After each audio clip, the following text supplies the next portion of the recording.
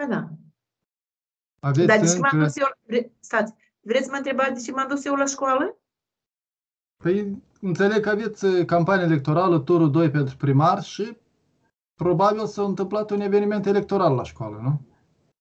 Da, ieri la, în satul Burlacul, raionul Cahul, eh, jumătate la 12, eh, au intrat în școală mm, șeful direcției învățământ Baban Valeriu, eh, vicepreședintele raionului eh, Calmâc Vladimir și deputata din Parlamentul Republicii Moldova din sat de la noi, Bacalu Elena.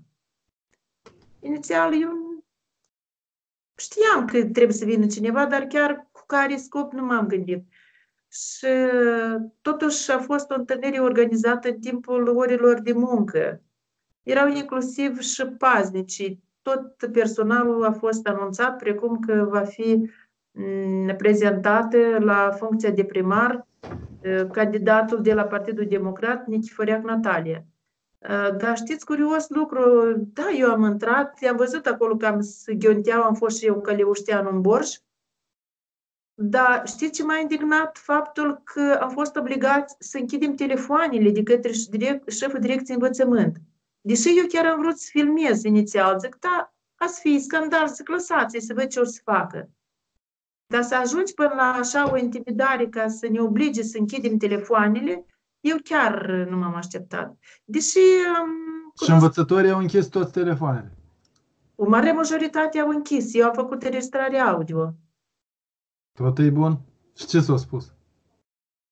S-a spus clar, deschis, că au venit în campania electorală să uh, roage cetăți, adică pedagogii, cât și pedagogii să-și roage rudele, rudele vecinii ca să o susțină pe Nichiferec Natalia. Uh, Consider că aceste acțiuni sunt unele ilegale. Eu deja sunt consilier independent ca să contest. uh, Posibil primarul are drept să conteste aceste acțiuni, că este încă un Păi încă- ilegalitățile uh, în campanie electorală pot fi denunțate și de concurenți electorali, dar și de orice cetățean alegător care vrea ca să desfășoare campania electorală conform legii. Și eu mă tem că folosirea resurselor administrative nu-i conform legii. Deci eu am sesizat S-a întrerupt și- procesul de învățământ, s-a renunțat la ore pe durata întâlnirii electorale? Deci copiii sunt în vacanță, dar însăși pedagogii aveau un program de muncă, să zic eu, până la ora 1 sau până la ora 2. Eu nu cunosc care este programul activ. Dar la ce oră a fost întâlnirea?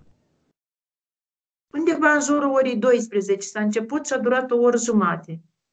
Ei poate să pretindă că era pauza de prânz. Dar cum pedagogii au pauză de prânz, oameni buni?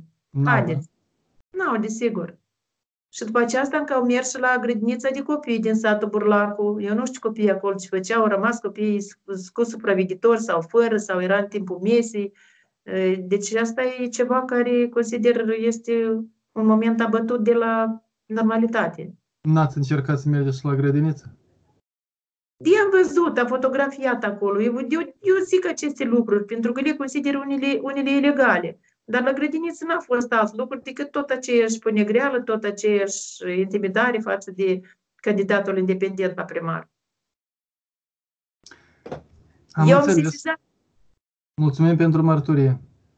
eu am sesizat cecul verbal.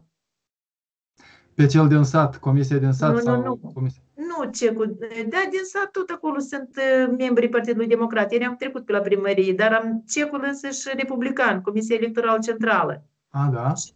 mi s-a spus că aceasta ar, fi, ar cădea sub uh, codul contravențional. Păi da, eu mă gândesc că trebuia sesizat polițistul din sat sau poliția raională ca să vină să constate chestia asta. Păi eu am sunat polițistul din sat, nu mi s-a răspuns, dar totuși eu înregistrare video am, înregistrare Audio? audio o dețin. Cred că se poate face o contestație. Sau azi sau mâine, în ultima zi a alegerilor. Dar uitați-vă cât, cât obrăznicie, câtă nedreptate. Și noi ne vrem schimbarea. Unde, cum o vrem noi schimbarea? Și candidata PD-ului concurează cu primarul Cu- actual.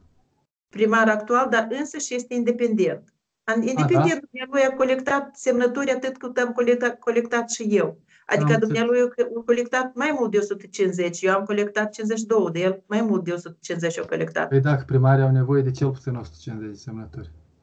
Da, Candidați și de iată. primar. Dar vă zic că am fost profund intimidată de faptul că am fost obligați ca să închidem telefoanele, să... deci mare, mare strictețe a fost. Dacă v-ați conformat, n-ați filmat cum vă interzic, s-ar putea să nu vă creadă lumea. Și înregistrarea audio e bună. Dacă vreți, puteți să ne-o dați să o facem publică.